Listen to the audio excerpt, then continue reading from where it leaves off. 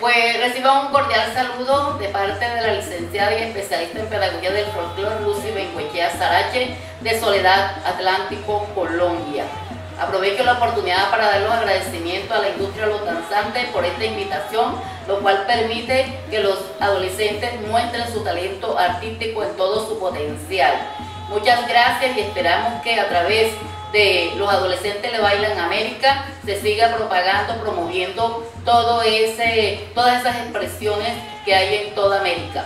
El tema de presentar a continuación, la puesta en escena, se titula Lamento y Alegría Africana, ritmo mapalé, en la cual se mostramos una de las danzas que tiene mucha trascendencia, no solamente a nivel de región caribe, sino nacional e internacional, y que forma parte como danza patrimonial del Carnaval de Barranquilla.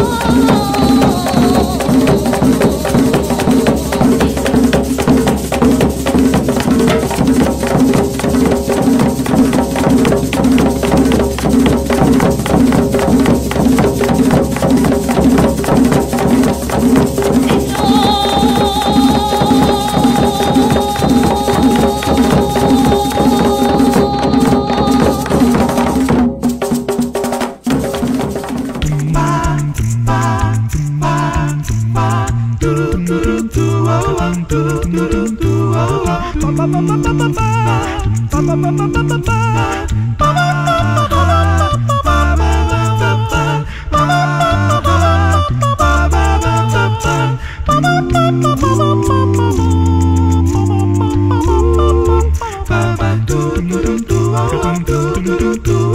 ba ba ba ba ba ba. Ba ba ba ba ba ba ba.